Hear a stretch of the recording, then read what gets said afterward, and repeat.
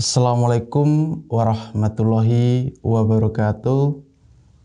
Sedulur Simo di mana pun berada, semoga rahmat serta karunia selalu terlimpah dan tercurah kepada kita semuanya. Amin barakallah.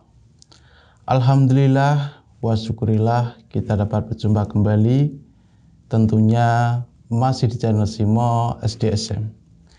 Di sini saya Bang Simo kembali akan berbagi. Cara untuk memanggil roh uang secara islami. Jika sedulur Simo enggan menggunakan cara-cara secara mistik, secara mistis, secara supranatural, maka di sini akan saya ijazahkan. Tata cara termudah dalam memanggil roh uang secara islami. Kita tahu sendiri bahwasanya setiap benda mati juga memiliki roh, memiliki kehendak, memiliki eksistensi tersendiri. Jika ada dari sedulur kita yang masih bertanya, apakah ketika kita memanggil roh uang, roh uang tersebut benar-benar mengerti apa yang kita maksudkan. Sebenarnya roh uang itu sendiri juga mengerti. Hanya saja kita tidak mendengar dan tidak mengetahui karena bahasa yang berbeda. Seperti kasus halnya ketika kita masuk ke rumah walaupun tidak ada penghuni rumahnya, kita di situ diwajibkan untuk mengucap salam. Begitu juga ketika kita memasuki kuburan, di situ kita diwajibkan untuk mengucap salam kepada penghuni kubur. Di sini merupakan bukti bahwasanya sebenarnya cara secara islami yang benar untuk memanggil roh uang adalah mengucap kalimat Assalamualaikum warahmatullahi wabarakatuh. Seperti halnya ketika kita berada di pemakaman, di situ kita terlebih dahulu mengucap Assalamualaikum. Dijelaskan kepada Rasulullah, apakah orang yang sudah meninggal itu mengetahui di situ mengetahui, hanya saja kitanya yang tidak mengerti. Jadi, setiap yang saya ijazahkan dalam memanggil roh uang, memang rata-rata pasti menggunakan kalimat salam, yaitu Assalamualaikum warahmatullahi wabarakatuh. Jadi ini adalah cara secara islami yang Anda enggan menggunakan cara-cara secara mistik secara gaib. Dan di sini akan saya ijazahkan kepada sedulur dan sebelum saya ijazahkan, alangkah baiknya bagi sedulurku semuanya yang belum subscribe di channel Simo SDSM, silahkan klik tombol subscribe yang ada di bawah video saya ini. Baiklah, terima kasih. Tata cara untuk memanggil roh uang.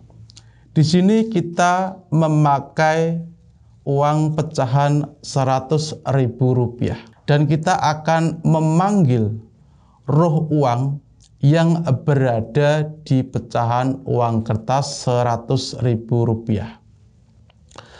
Setiap seni, setiap benda mati, silat gaib ataupun ilmu-ilmu, ilmu batin, ilmu gaib itu juga memiliki roh. Ingat itu. Dan Sebenarnya ketika kita mengawali mengucap salam ataupun menyeru kepada roh uang, sebenarnya roh uang tersebut juga mengerti, juga paham apa yang kita maksudkan. Hanya saja kita yang tidak paham. Dan ketika kita ingin supaya uang banyak berdatangan di dalam kehidupan kita, maka di sini saya akan memberikan tata cara secara islami untuk menghadirkan banyak uang dengan memanggil roh uang pecahan 100 ribu rupiah. Langsung saja beginilah tata caranya. Pertama saudara bersuci terlebih dahulu. Ini syarat mutlak. Setelah itu saudara lakukan, maka di situ lakukan terlebih dahulu sholat hajat dua rakaat. Setelah ini selesai, maka lakukan dengan duduk sila. Lakukan dengan duduk sila dan di situ pegang uang seperti ini. Dan di situ saudara pandangilah gambar penarinya. Ingat, karena roh uang yang berkuasa di saat ini itu adalah roh uang Ratu Adil sang penari.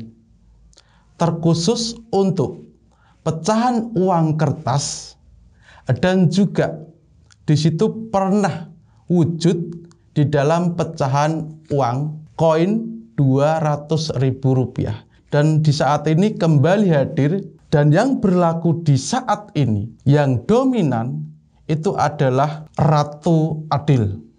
Maka kita efektifnya memang harus benar bisa memanggil ataupun menghadirkan penunggu uang di zaman saat ini yang berkuasa di saat ini yaitu Ratu Adil.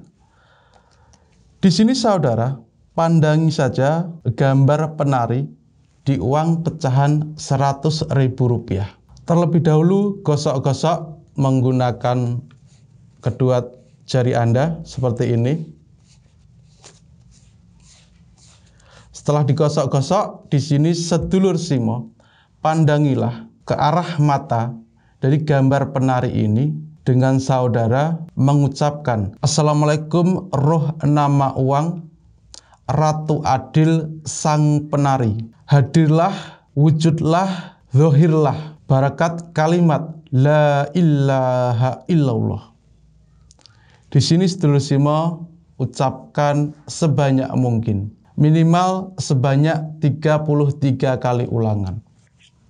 Dan ketika sudah selesai, saudara ketika setiap menerima uang terkhusus untuk 100 ribu rupiah, maka di situ ucapkanlah salam seperti yang saya ucapkan tadi.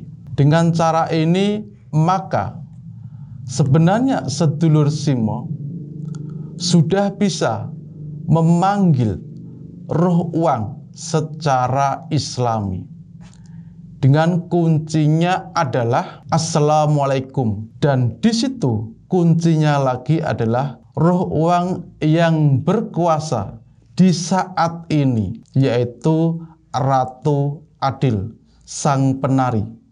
Yang di situ sebelumnya juga pernah hadir di pecahan uang koin emas 200 ribu rupiah. Jadi seperti inilah tata cara untuk memanggil roh uang. Jika ada salah kata, saya minta maaf. Dan jika ada pertanyaan, sedulurku semuanya bisa tinggalkan komentar. Berkah manfaat ilmunya di batang tubuh sedulur. Dari saya Bang Simo, wassalamualaikum warahmatullahi wabarakatuh.